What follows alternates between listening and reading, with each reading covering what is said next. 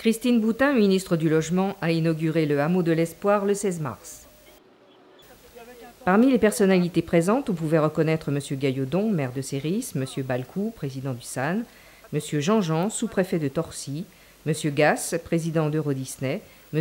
Mirabeau, président d'Adoma. Le village appelé Centre de stabilisation est composé d'une vingtaine de chalets.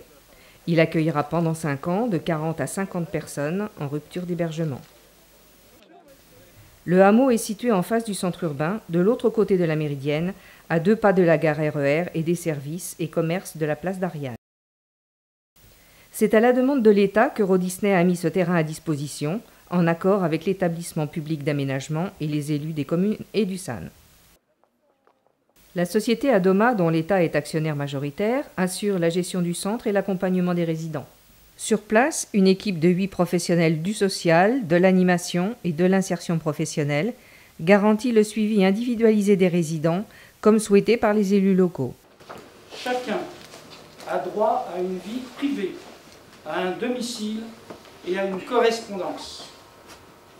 Chacun de nous sait bien que la réalité sociale est plus complexe. De nombreuses personnes ont de véritables difficultés à se loger.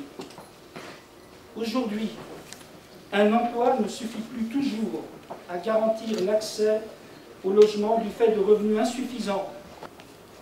Nous avons déjà accueilli plus de 20 000 habitants en 20 ans. Nous continuons notre croissance et nous nous sommes engagés à construire chaque année près de 500 nouveaux logements en respectant, ce que disait tout à l'heure Denis, en respectant les 20% de logements sociaux bien que nous n'y soyons pas obligés, mais il est de notre devoir de le faire.